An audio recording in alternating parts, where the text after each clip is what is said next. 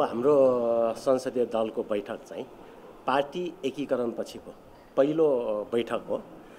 यो बैठकको एजेन्डाको रूपमा समसामयिक राजनीतिक विषयवस्तुहरू खास गरी संसद पुनर्स्थापना भइसकेपछि हामी सँगै बसेर एक आपसमा विचारको आदान प्रदान गर्ने त्यसको उपलक्ष्यमा बधाई सबै चाहिँ पुनः चाहिँ संसदमा फर्कने स्थिति बनेकोमा चाहिँ सबैलाई बधाई दिने काम पनि भयो।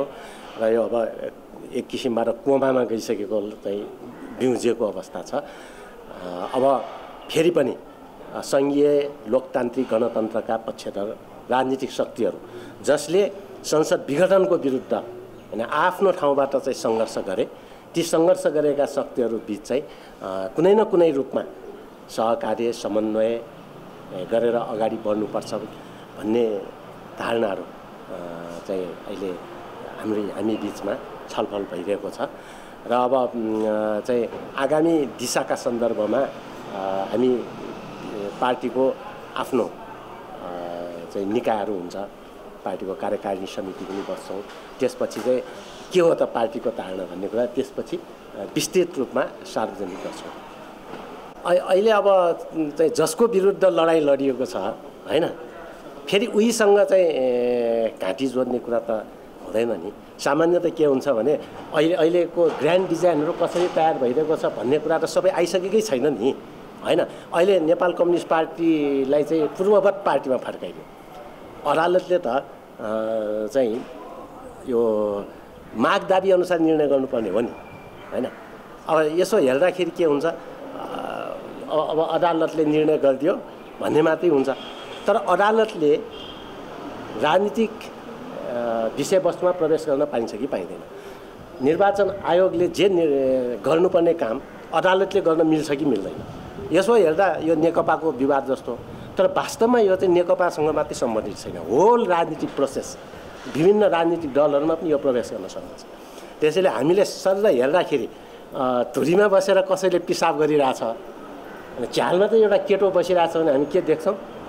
त्यो केटोलाई देख्छौँ क्या त्यो केटोले गर्यो होला भन्छौँ तर धुरीमा बस्ने त अर्को छ नि। त्यस कारण ग्रान्ड डिजाइन कहाँबाट बनिरहेको छ कसरी बनिरहेको छ भन्ने कुरा चाहिँ अझै निर्क्याउनु हुन बाँकी छ। र त्यसैले हामीले यो प्रक्रियालाई राम्रोसँग निहालेर होइन चाहिँ यसको समग्र मूल्याङ्कन गर्नुपर्छ। आज संसदीय दलको बैठकमा पनि यसबारे छलफल भएकै अवस्था छ र जे होस् एउटा नेचुरल कोलिसन होइन? अब एउटा चाहिँ नेचुरल भन्नाले प्राकृतिक रूपमा कुनै पनि गठबन्धन वा कुनै पनि सहकार्य भन्ने कुरा प्राकृतिक हुनुपर्छ होइन? जस्तो अहिले सङ्घीयता समावेशिता धर्मनिरपेक्षता समानुपातिक समावेशीकरणका मुद्दाहरू समावेशी लोकतन्त्रका मुद्दाहरू जुन चाहिँ बसती त्रिसठी सालको जनक्रान्ति मधेस जनविद्रोह आदिवासी जनजाति खस शिल्पी दलित महिला मुस्लिम होइन? श्रमजीवी वर्ग सबैले गरेको सङ्घर्षको परिणामस्वरूप जे उपलब्धि हासिल भएको छ अहिले त्यसलाई बचाउने कुरा प्रमुख कुरा हो। जसले त्यसको लागि खड्ग लिएर हिँडेको छ अनि फेरि त्यहीँ चाहिँ हामी चाहिँ सहकार्य गर्ने स्थिति भन्ने कुरा त हुँदैन नै। तर जे होस् अहिले पनि तपाईँले चाहिँ देखिराख्नु भएकै छ होइन? यो संसद विघटन अँ, को घटनापछि जसरी देशको अवस्था परिवर्तन हुँदै आएको छ। जसरी चाहिँ देशमा राजनीतिक सङ्कटहरू होइन गतिरोधहरू देखा पर्दै आएको छ। यी गतिरोधहरू अन्त्यका लागि अब सबैसँग सहकार्य संवाद होइन कसरी अगाडि बढ्ने देशलाई कसरी अग्रगामी गमनमा लाने र भएका उपलब्धिहरूलाई कसरी जोगाउने भने मुख्यतः हाम्रो चाहिँ प्राप्त उपलब्धिहरूको रक्षा गर्दै अब थप उपलब्धिहरू चाहिँ कसरी प्राप्त गर्न सकिन्छ र जनताको प्रतिनिधि संस्थाको रूपमा रहेको संसदलाई होइन? त्यसरी पटक पटक हत्या गर्ने कामहरू चाहिँ गर्नु हुँदैन भन्नेमा हामी सबै एकमत छौँ। ल धन्यवाद। सामायिक राजनीतिको विषयमा चर्चा भइराखेको रहेछ यो अध्यादेश विषयमा चर्चा भइराखेको छ।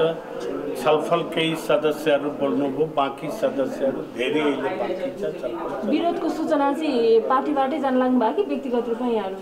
यो दिने व्यक्तिगत नै हो तर पार्टीको मान्छे भएको कारणबाट पार्टीबाट। सबैजनाले दिने गरिनु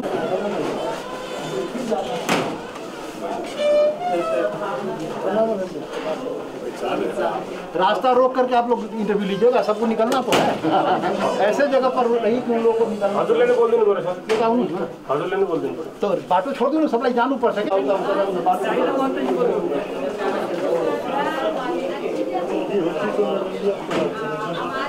पूछो न ऊ सब मिडिया पूछो भेलै नै त्यो त पहिलो काहिले के नै एकसाथ पहिले जस्तै आज पहिलोचोटि जनता समाजवादी पार्टी संसदीय दल को औपचारिक बैठक, बस्यो र संसदीय दलको सबभन्दा वरिष्ठ सदस्य मान्य महान ठाकुरजीको अध्यक्षतामा बैठक बस्यो र आज राष्ट्रिय जनता पार्टी नेपाल र समाजवादी पार्टीको संसदीय दल आजदेखि विघटन भएर जनता समाजवादी पार्टी। समायोजन चाहिँ भएको छ संसदीय दल आज हाम्रो समायोजन भयो। संसदीय दलको संसदीय दल सञ्चालनको लागि नेता चयनदेखि लिएर संसदीय समिति गठनको लागि विधानको चाहिँ आज एउटा मसौदा वितरण गरिएको छ।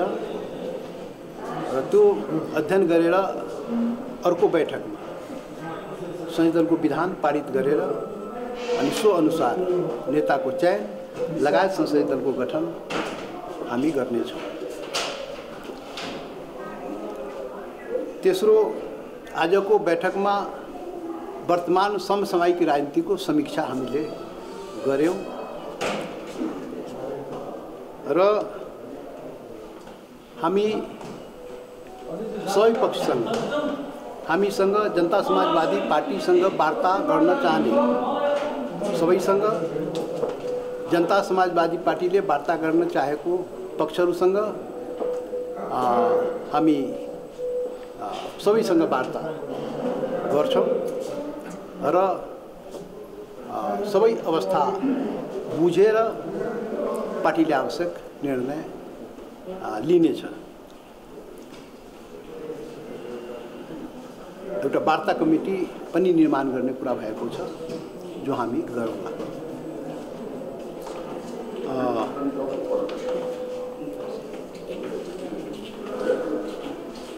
यति हो आजको बैठकको निर्णय। यहाँ रोकिन्जेगा तपाईँले वार्ता तोली समिति त्यही त पूर्णता दिनु छ। अहिले अपरझट कुरा गर्नुपर्ने भएकोले दुईवटा साथीलाई पठाइएको थियो। त्यो वार्ता समिति औपचारिक रूपले त्यसलाई पूर्णता दिएर हामी चाँडै चाहिँ पूर्णता दिन्छौँ। सरकारका तर्फबाट सत्ता सहकार्यको लागि केही प्रस्ताव आएको हो? होइन त्यस्तो केही प्रस्ताव आएको छैन। हाम्रो मुद्दाको सन्दर्भमा सबै पक्षसँग हामी मुद्दा केन्द्रित रहेर हामी सबै पक्षसँग कुरा गर्छौँ। लगायत देशका सम्पूर्ण परिस्थितिको समीक्षा गर्दै सबै विषयमा पनि हामी कुरा गर्छौँ र मुख्य रूपले मुद्दा केन्द्रित हाम्रा जुन सांसद रेशम चौधरी लगायतका रिहाई मुद्दा मधेस थरोट आन्दोलनका मुद्दा फिर्ता संविधान संशोधन लगायतका सबै सवाल हाम्रो अगाडि छ। यी सवालहरूलाई केन्द्रमा राखेर हामी आफ्ना कुरा अगाडि राख्छौँ। जो पक्ष हामीसँग कुरा गर्न चाहन्छ उस सब- सबैसँग हामी कुरा गर्छौँ आफ्नो कुरा राख्ने हो। र जे सबै कुरा कुराहरू आइसकेपछि पार्टी बल्ल चाहिँ आधिकारिक औपचारिक निर्णय गर्छ। अब गर्ने के त? त्यो पार्टी आगामी दिनमा सबै कुरा बुझिसकेपछि पार्टीले निर्णय गर्छ। जस्तो विगतको सबै अनुभवबाट पाठ सिक्दै आगामी दिनमा पार्टीले चाहिँ निर्णय गर्छ त्यो हामीले विश्वास छ। त्यो चाहिँ सरकार र सत्ताको कुरा त्यति सहज छैन। मुद्दा अगाडि छ मुद्दा सम्बोधनका सवाल छन्। त्यो पनि विश्वसनीय हिसाब किताबले ठग ठगौती होइन कि? उधारो त धेरै भयो। उधारो खेती त धेरै गरिहाल्यो नि काङ्ग्रेस कम्युनिस्ट बनाउँदा पार्टीहरूले। त उधारो खेती त कहाँ हुन्छ? त्यसैले हुँदैन। मुद्दालाई केन्द्रमा राखेर हामी जेसुकै काम गर्छौँ। र सबैसँग कुरा गर्छौँ कुरा गर्न हामीले केही छैन। कुरा सबैसँग गर्ने जो जो कुरा गर्न चाहन्छ हामी सबैसँग गर्ने हो। र पार्टीले अन्तमा गएर सबैको समीक्षा गरेर उपयुक्त निर्णय पा पार्टीले चाहिँ लिन्छ। मुद्दा सम्बोधन हुने देखेपछि जसपाले केपी शर्मा ओली सरकारको निरन्तरतालाई पनि स्वीकार्छ? केपी ओली? अब अब जोसुकैसँग वार्ता गर्ने कुरा त भनिहाल्यो होइन? अब केपी ओलीको परीक्षण त धेरैचोटि भएको छ नि त। विगतका सरकारमा के गर्यो त हामीलाई थाहा छैन। त्यसैले अब फलानाले गर्छ ठिकानाले गर्छ सबैलाई हेरिसक्या हो। संविधान बनाउँदाखेरि यी काङ्ग्रेस एमाले माओवादीले गोली चलाएर संविधान बनायो होइन? प्रतिगमनमाथि प्रतिगमन फेरि केपी गरायो होइन? यो सबै कुरा अनुभव छ नि हामीलाई। त्यसैले कसले के गर्छ त्यो चाहिँ कुराले हुन्छ। अब त कामले जनताको काम चाहियो के? अब त्यो चाहिँ भ्रममा हामी परेका छैन भ्रममा पढ्नु पनि हुँदैन। सवाल केन्द्रित हाम्रो कुनै पनि निर्णय सवाल केन्द्रित हुन्छ। र चाहिँ म अघि नै भने शब्द उहाँले प्रयोग गर्नुभयो उधारो होइन। नगदमा चाहिन्छ जनताको सवाल ठग ठगौतीमा हुनेवाला छैन। धेरै ठगियो के? धेरै झुक झुकायो हामीलाई। त यो हुनेवाला छैन। यो चाहिँ बिल्कुल जनताको हक अधिकारको जुन सवाल हो अधिकार पहिचानको सवाल हो यो सबै सवाललाई अगाडि राखेर मात्रै हामी केही कुरा सोच्ने। जस्तो माओवादी हामी त एउटा रूपमा बनाएकै हौँ त्यसलाई पूर्णता हामी चाँडै दिइदिन्छौँ र सबैसँग प्रचण्डजी वा भनौँ नि कुन भन्नुभयो प्रचण्ड काङ्ग्रेस वा जुन जुन पक्ष वार्ता गर्न चाहन्छ उसँग हामी वार्ता। सबैसँग वार्ता गर्ने र बैमानी सैतानी कसैको योपालि चल्नेवाला छैन। हामी चल्न दिँदैनौँ। भनेको त्यो त्यो जुन त्यो दुई सदस्यीय वार्ता टोलीलाई अब तपाईँहरूले अझ पूर्णता दिनु पूर्णता दिन्छौँ हामी? किनभने त्यो त अचानक त अस्ति छैन। के को विवाद हुन्छ? त्यो त अचानक गर्दैछौँ त्यसलाई पूर्णता दिनुपर्छ। त्यो पूर्णता दिनुपर्छ। त्यो पूर्णता हामी दिन्छौँ। हाम्रा नेतृत्व बसेर त्यसलाई पूर्णता दिने कुरा भएको छ। हाम्रा नेतृत्व बसेर त्यसलाई हामी चाँडै भोलि पर्सिमै पूर्णता गरिदिन्छौँ भोलि नै पूर्णता एउटा एउटा क्लियरली भनिदिन तपाईँहरूको मुद्दा सम्बोधन गर्छु भनेर अहिले अहिलेको एमाले भन्यो भने तपाईँले केपी अरे छोड्नुहोस् भन्यो भने हुन्छ भन्यो भने त कतिचोटि भनिसक्यो। त्यही त कुरा भन्यो भने कतिचोटि भनिसक्यो त्यो भन्ने भने हुन्छ भनाइमा हुन्छ। पहिला पनि पहिलोपट्टि। भनिसक्यो यार भनेर हुँदैन। गर्नु पर्यो।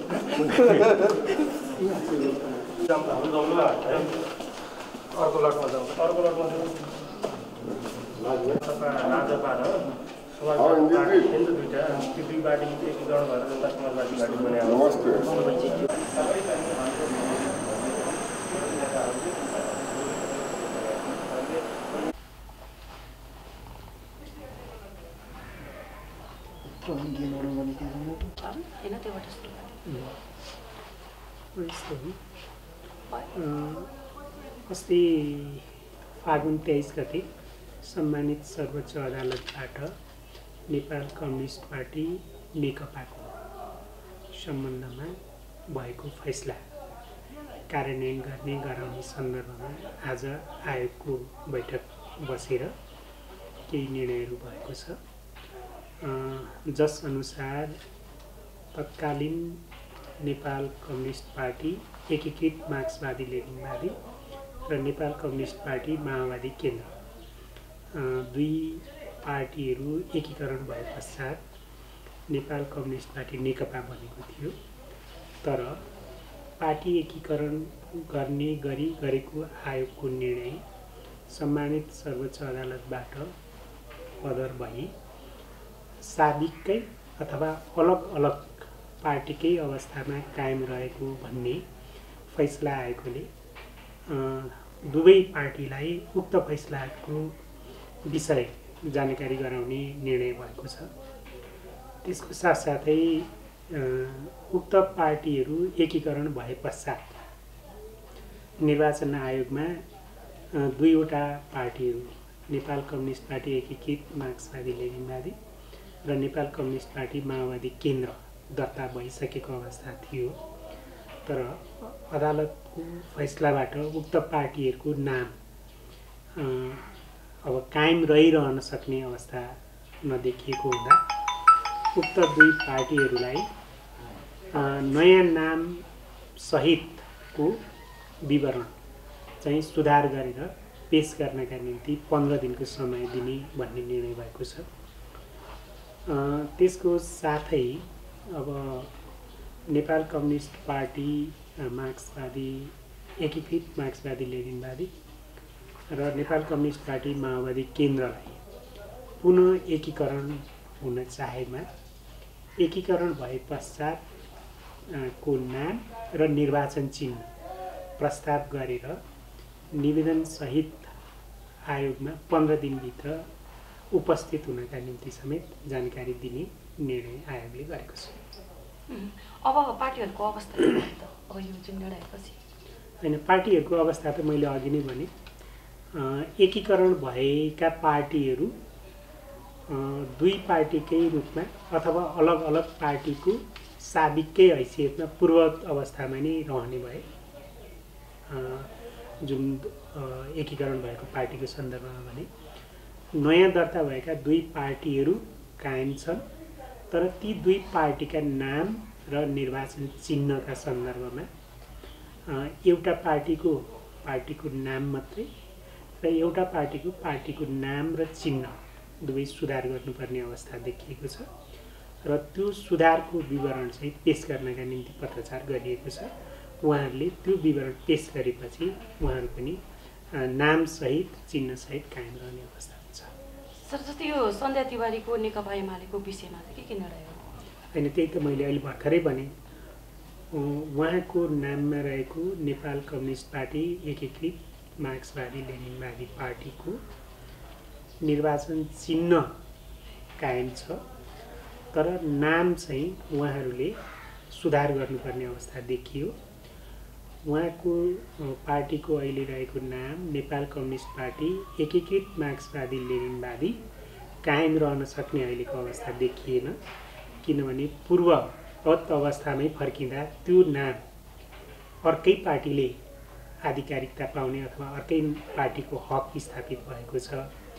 त्यस कारणले उहाँको पार्टीको अहिले भएको नाम कायम नरहने हुँदा अर्को नाम प्रस्ताव गर्नु पर्यो। र त्यो पेस गर्नका निम्ति आयोगले निर्णय गरेर जानकारी गराउने निर्णय गरेको छ।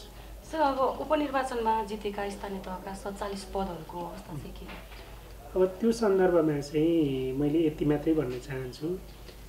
निर्वाचन सम्बन्धी कानुनमा व्यवस्था भएअनुसार उम्मेदवारहरूको योग्यता र अयोग्यताका सम्बन्धमा निर्वाचनको परिणाम घोषणा नहुँदैका अवस्थामा हुनुपूर्वको अवस्थामा निर्वाचन आयोगले त्यसको निर्णय र निरूपण गर्ने हुन्छ।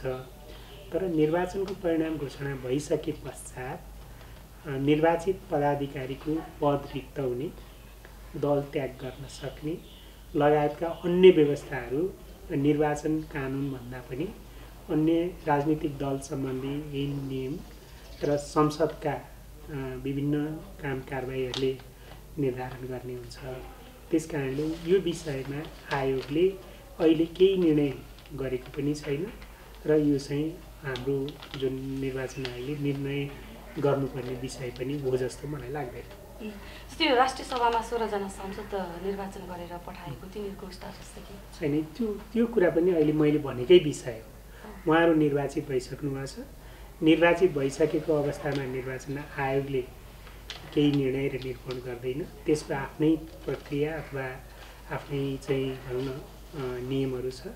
सोही अनुसार हुने कुरा हो। त्यसमा आयोगले केही बोलिराख्नु पर्दैन।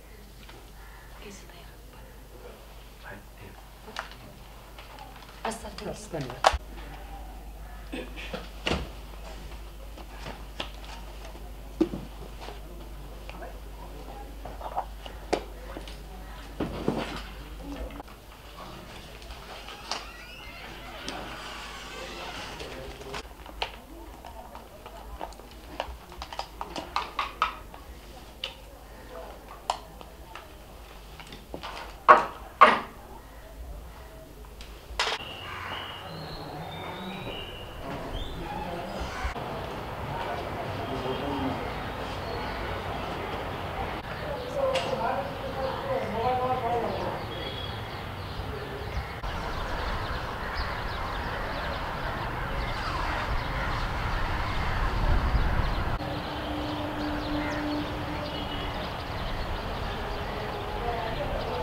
एक साइड